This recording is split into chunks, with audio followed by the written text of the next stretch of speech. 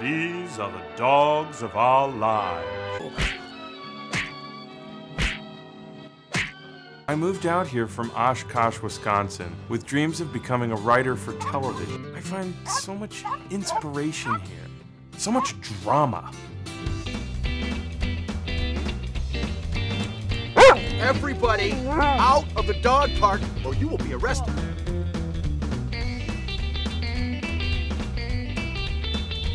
Everything has a price. You want to take this park? You got to go through me. I'm Christy Anderson here at Channel 4 Local News in Los Angeles. Hi, in Los local Angeles. Uh, dog we are trying to get a thousand signatures to save our dog park, and we have um, Um, one, two. Oh, hell no! got a mass email that the park is open. Yeah, well, I got a mass email too. It said, you mess with the law, you end up in the slammer. Want me to forward that one to you? All right, everybody out of here. You too, ugly. I have to write that down.